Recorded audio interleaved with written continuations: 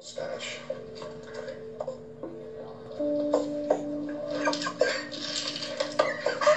Oh, you like me.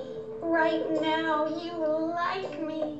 Wait, Sally Field, I thought you said you liked me. You really, really No, liked me. No, shut up. She said what I just said.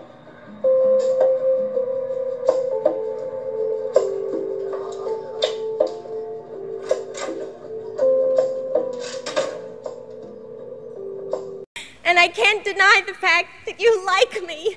Right now, you like me. Yeah, see, and that's what I'm talking about. About these these movies that they're trying to come up with called the Mandela Effect. I don't know if it's gonna be poking fun at us, you know, because they, they seem like that's what they're doing to uh, make it like it's drama, uh, like it's a comedian. Like this is not, um, this is not real.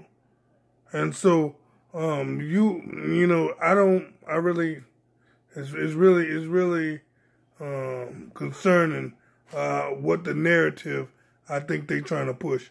And, um, that's what I'm, that's what I'm talking about. Thank y'all very much.